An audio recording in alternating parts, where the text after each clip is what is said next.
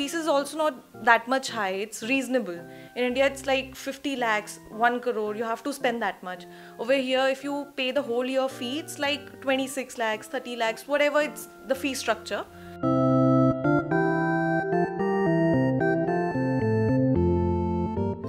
Is uh, considered to be one of the most safest country because it is a woman dominated country and uh, crime against women is almost nil and uh, so far recorded crime is I mean like it's absolutely nil so there's nothing to be worried.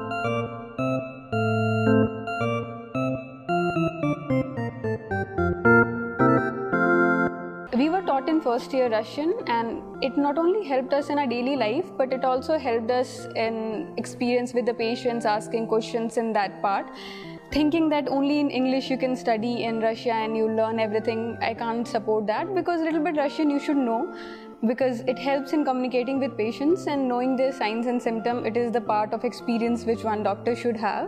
या किसी को कभी बाहर जाना हुआ language की problem होती है बहुत से लोगों को जब आप नए नए आते हैं यहाँ पे तो जैकेट्स खरीदने होते हैं, ठंडी है यहाँ पे काफ़ी तो बहुत से बच्चे आते हैं कि साथ में चलिए तो उनके साथ जाना लैंग्वेज प्रॉब्लम हो, या फिर वो कभी कॉल करते हैं, कभी कहीं पे भी चले जाते हैं तो हम उन्हें जितने भी यहाँ वॉल्टियर्स बैठे हैं सबने सबके नंबर हम दे देते हैं कि आपको कोई भी किसी भी किस्म की प्रॉब्लम हो आप कहीं भी फंस जाते हैं आपको लैंग्वेज की प्रॉब्लम हो रही है तो आप कॉन्टैक्ट कर लें हमें हमें कॉल करके पूछ लें इस समय पर कि हम यहाँ पर फंस चुके हैं हमें लैंग्वेज नहीं समझ रही है तो हम उन सामने वाले से बात करके उनकी हेल्प कर लें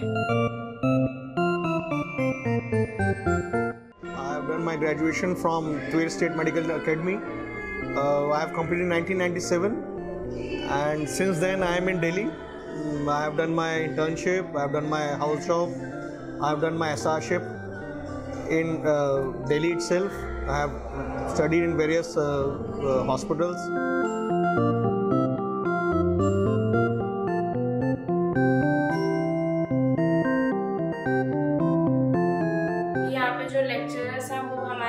बहुत हेल्पफुल है हमें बहुत तरीके से हेल्प करते हैं और जो हमें डाउट्स रहता है हम खुल के उन्हें पूछ सकते हैं हमें यहाँ पे कोई तकलीफ़ नहीं होती टीचर्स तो बहुत ही अच्छे हैं लेक्चरर्स जो हैं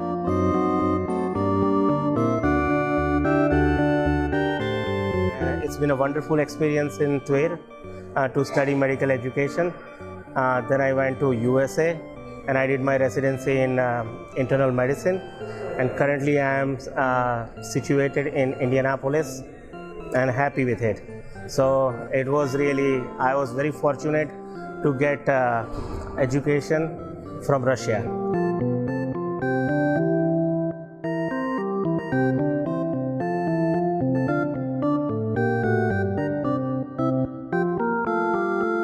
सबसे अच्छी बात लगी रशिया में पढ़ने की वो लगी थी कि ये लोग काफ़ी ज़्यादा प्रैक्टिकल पे बेस होते हैं। हर दिन अलग अलग तरीका के प्रैक्टिकल आते हैं। हर दिन एग्ज़ाम होता है हर दिन टेस्ट होता है जिससे आपकी पूरे साल की रेटिंग बनती है उस रेटिंग के बेस पे ही आपके फाइनल मार्क्स होते हैं। तो ये सारा कुछ काफ़ी अच्छा लगा था देखने में। बिल्कुल एक्सपेक्टेशन थी, काफ़ी मतलब एक्सपेक्टेशन से भी ज़्यादा था ये। और मेरे को बहुत अच्छा लगा था यहाँ पे आके ये वाला जो इनका ये था मतलब देखा था ना स्टेप क्योंकि इंडिया में एजुकेशन क्या होता है कि पूरे साल मत पढ़ो फाइनल में एग्ज़ाम में पढ़ो और पास हो जाओ।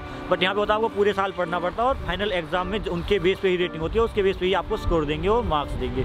तो ये काफ़ी मैटर करता है।